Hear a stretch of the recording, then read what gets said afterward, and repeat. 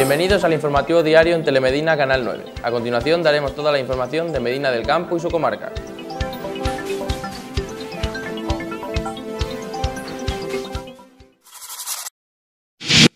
Servitrama Transportes te ofrece esta sección. El embajador de Eslovenia visita el Museo del Juguete de Medina del Campo. El embajador de Eslovenia visitó el Museo del Juguete de Medina del Campo, el más grande de España, con más de 10.000 piezas. Durante su visita conoció los proyectos de la Fundación Juntos por una Sonrisa y disfrutó del vino solidario en honor al 200 aniversario de la Policía Nacional. El museo, que revive la historia a través de juguetes que han marcado generaciones, destina los beneficios de las entradas a proyectos en beneficio de niños desfavorecidos. El festejo del toro de la feria volverá el primer fin de semana de junio del próximo año.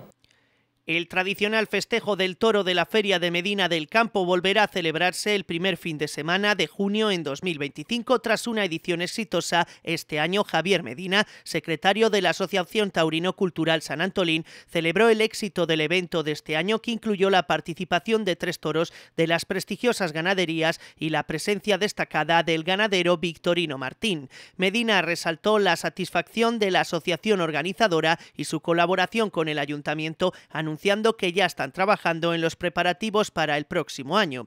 La decisión de retomar a las fechas habituales se debe a la coincidencia con la Feria de Espectáculos Taurinos y a las condiciones meteorológicas. Además, la asociación continuará su esfuerzo por mejorar las condiciones del recorrido del toro, insistiendo en la necesidad de albero para asegurar el buen desarrollo del evento.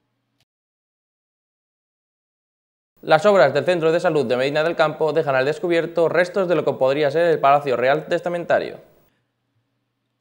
Durante las obras de climatización del Centro de Salud de Medina del Campo se han descubierto restos que podrían pertenecer al Palacio Real Testamentario. Este hallazgo situado en el patio interior del edificio ha generado gran interés entre pacientes y personal sanitario.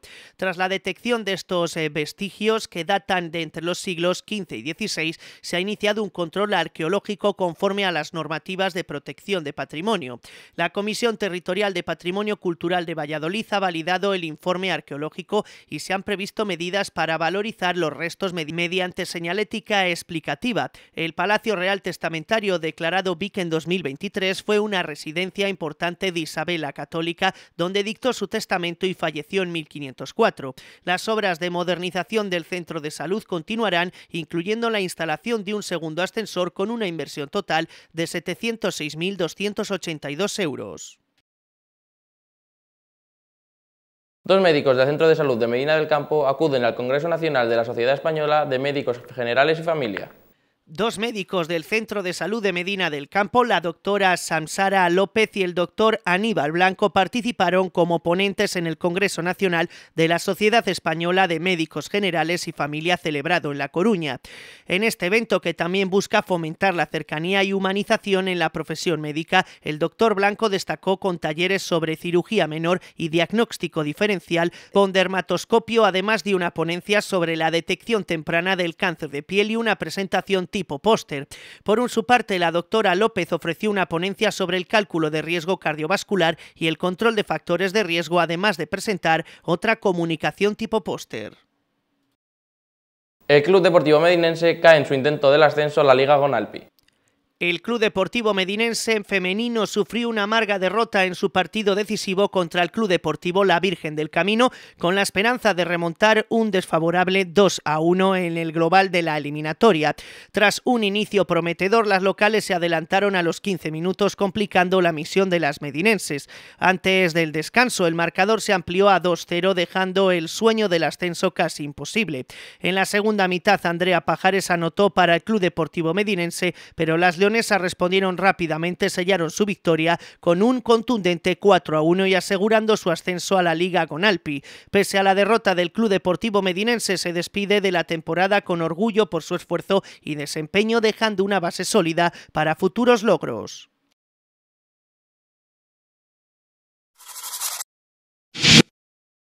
A la EJO se suma al alquiler social con seis nuevas viviendas.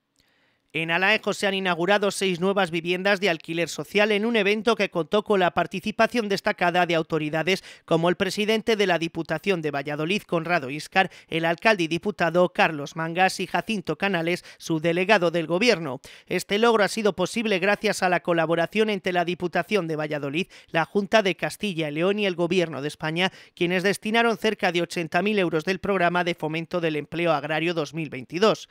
Este programa no solo la construcción de las viviendas realizadas por 13 trabajadores del campo durante los periodos sin actividad agrícola, sino que también incluyó la edificación de cuatro cocheras.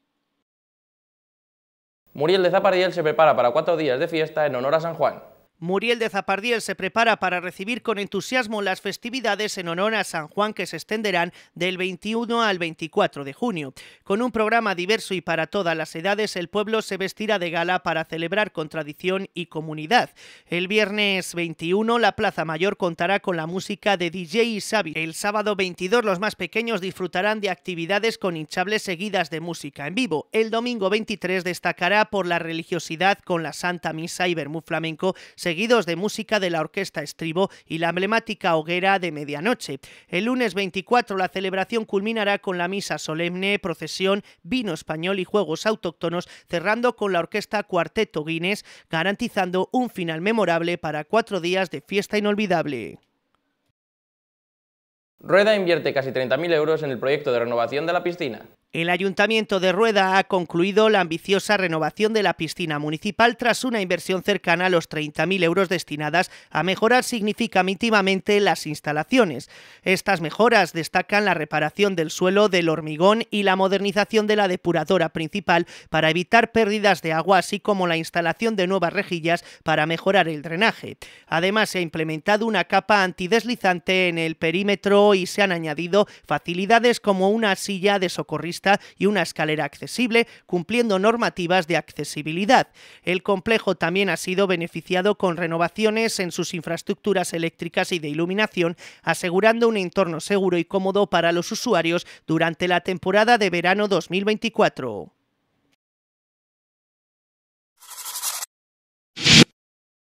...303 alumnos de infantil y primaria han participado en los premios El Cuento Ilustrado 2023. Un arco iris mágico que dependía en gran parte del planeta Tierra. El arco iris, llamado Nubecita, había vivido en excelentes condiciones por miles y miles de años, hasta que llegó el 2020. En ese año, la gente dejó de cuidar su planeta y empezó a tirar plásticos a los océanos y mares. María cogía todo el polen que podía en sus patitas y se lo iba pegando a las alas grises de Candela. Las alas empezaron a cubrirse de muchos colores y Candela cada vez estaba más contenta. Una mañana las flores se hartaron de dar su polen a la abeja, porque la mariposa no era amable con ella. Ahora el planeta tenía un color verde azulado muy brillante. Parecía un planeta súper limpio. Fin. Celebrado el treceavo encuentro de personas con discapacidad en la provincia de Valladolid. Pues estamos hoy viernes 14 celebrando un año más y ya van 13 este encuentro de la red de personas con discapacidad. Es una red en la cual tiene 17 servicios, atendemos a 214 personas no solo de la provincia de Valladolid, sino de otras provincias las cuales bueno, pues les damos, ¿no? le posibilitamos a través de esos servicios, a través de viviendas tituladas, a través de talleres ocupacionales, prelaborales, pues el que puedan integrarse ¿no? y puedan integrarse en la sociedad. La verdad que ha sido un día de ocio, un día de encuentro, un día también de análisis, de ponencia que nos han expuesto los usuarios de esta red y valoramos de modo muy positivo el encuentro que se ha celebrado en el día de hoy.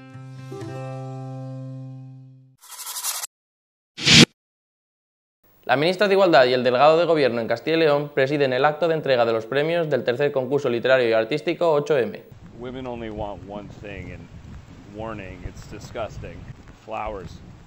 Gerardo Dueñas clausura la primera entrega de los premios de excelencia de los centros integrados FP Agrarias. Pues buenos días a todos y gracias por estar hoy aquí en este acto en el que vamos a hacer la entrega de los primeros premios a la excelencia de nuestros ocho centros integrados de formación profesional de la Consejería.